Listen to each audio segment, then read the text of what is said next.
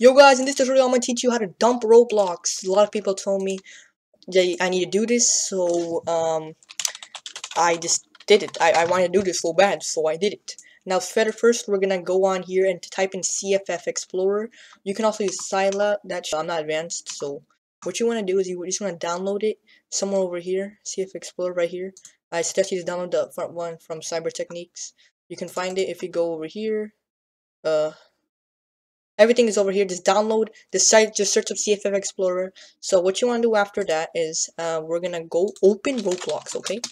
Now first you want to open cff explorer on a new window okay? So you got the extinctions some dlls now we want to open roblox. Go to roblox right click it click open file location.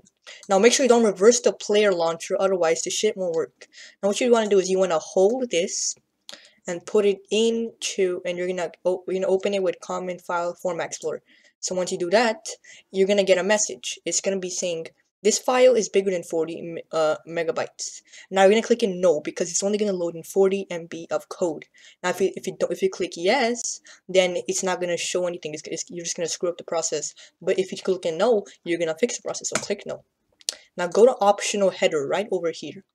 Go down click say, uh, DL characteristics. The uh, the address is 1AE. Click this. Go to DL can uncheck it. So make sure like that. And press this. Now you just did something. Wow, cool. Now you're gonna go in file and you're gonna save as. So we're gonna make a new exe dumped. Now when I go here, you can go to any directory. I like to go into documents. So I'm gonna name it Roblox player 11.exe.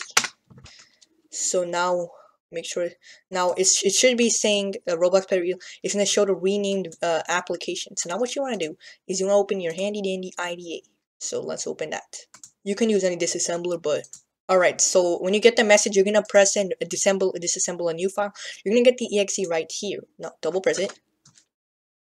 Okay down now you're going to get a message right here. Now um, i suggest go here and press and load resources. Now i'm to go click ok. So now we're going to wait a few shit.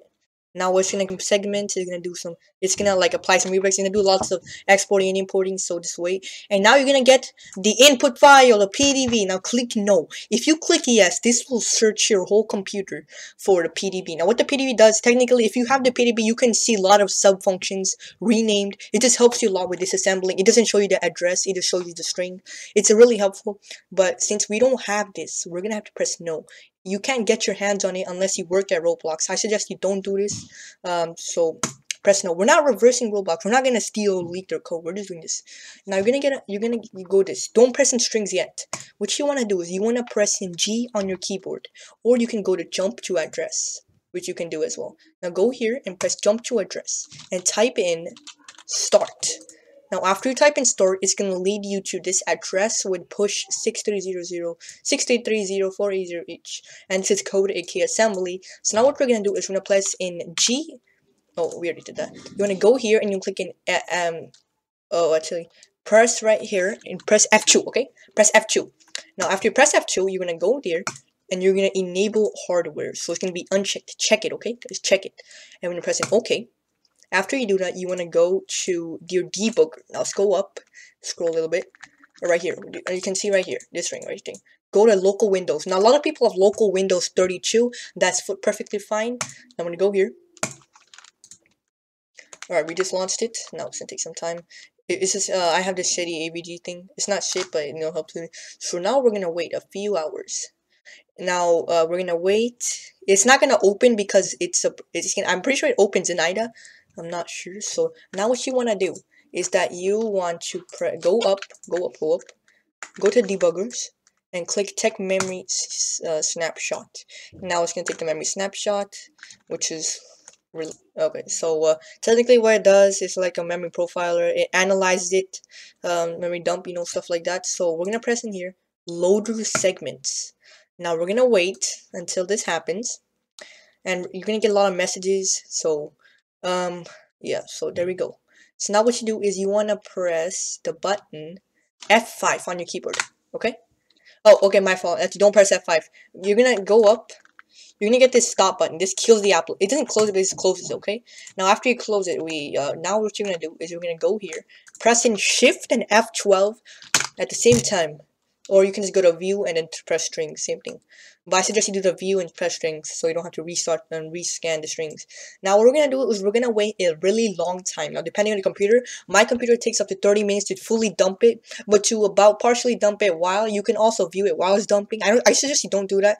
A lot of sub functions won't load. So now we're gonna wait a few hours. Let's wait.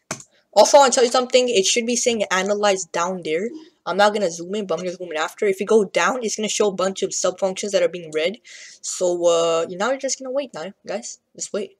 Now, usually, uh, the normal, it's to show the string window in about 3 minutes, but in, to, in order to fully analyze it's probably to take about, I don't know, 30 minutes. I have 16 GB RAM PC, uh, a normal double minder, if you have a gaming PC, it's probably take up to like 10 minutes. If you have a shit PC, like Windows 7, it's probably to take up to 3 hours.